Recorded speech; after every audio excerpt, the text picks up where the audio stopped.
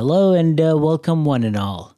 Today we will cover Apache Airflow installation. We will install Airflow on Docker.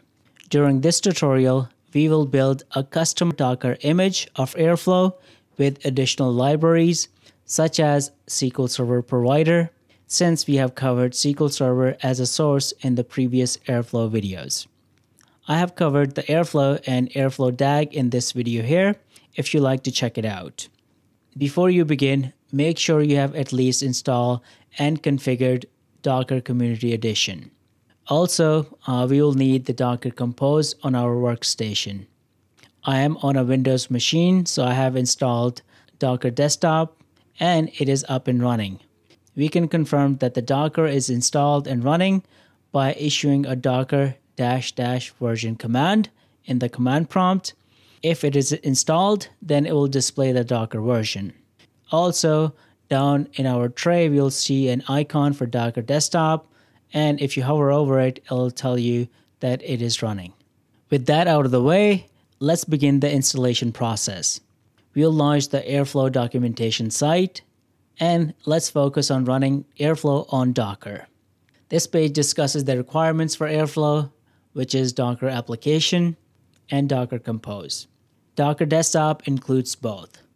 We will scroll down and get the Docker Compose YAML file from here. I'll open the file in a new window and copy it in its entirety. Let's go ahead and paste the file in a text editor of your choice.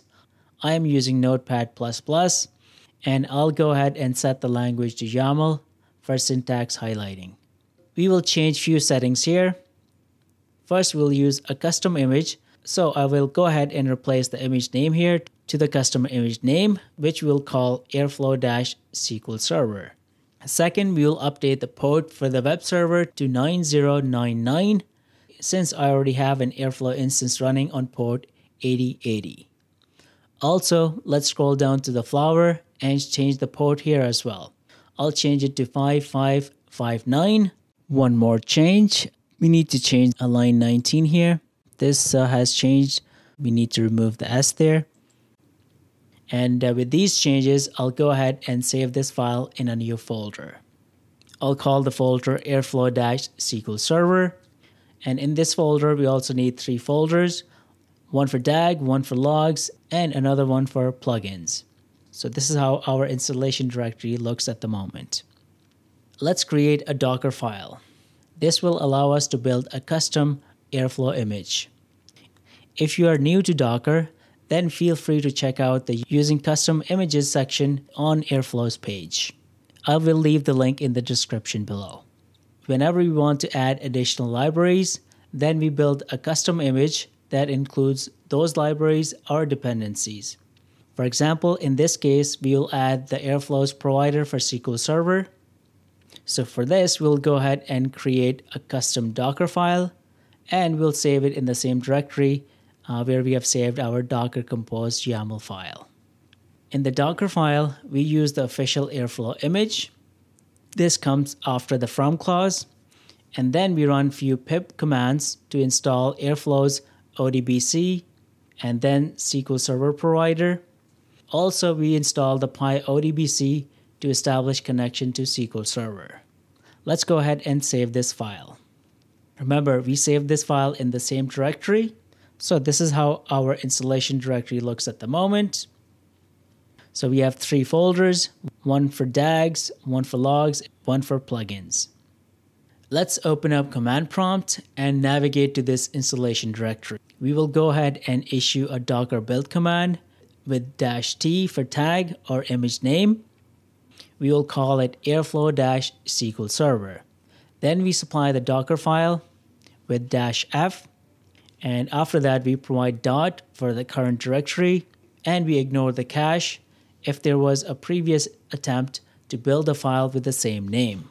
This will start building the custom Airflow image. It can take a while depending on the number of libraries we're installing. We'll give this time to finish and come back once the image is complete. Our image built successfully. We can check the Docker application and images and our new image is present here. So our image built successfully. Now we can run this image with the docker compose up command. So we'll issue this command in the same command prompt window here. This will run the image and all the containers under it. As the Docker is bringing up new containers, you'll see the various statuses in the command prompt. All of these containers are listed in our Docker Compose YAML file. So if you review that, you'll see the web server, scheduler, trigger, flower, and so on. All of those containers are building. Once the web server is up, we can launch it in the browser with localhost and the port 9099 or whatever port you have specified in the YAML file. This will launch the Airflow web server. So we have successfully installed Apache Airflow on Docker. We can log in with default user and password, which is set to Airflow in the YAML file. Once we are logged in, let's navigate to admin and connections and add a new connection. I want to check whether SQL Server is listed as one of the sources. If we install the base Airflow image, then this provider is not installed by default.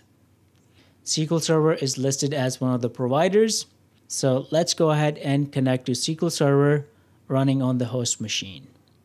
Connection ID, we can specify any name. I'll call it SQL Server. Uh, the connection type will be Microsoft SQL Server. You can provide a description if you like. And for host, we'll use the host IP address. Schema is the database. So in this case, it will be AdventureWorks DW 2019.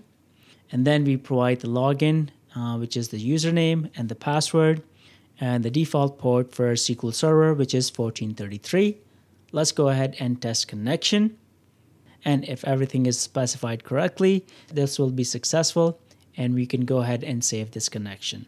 So this is how we can connect to SQL Server or Postgres or any other providers that are listed in the connection type dropdown. We can connect to those and use them in our DAGs. This is all on Airflow installation. I hope you enjoyed the session. Like, share, and subscribe. Take care, and I'll see you in the next video.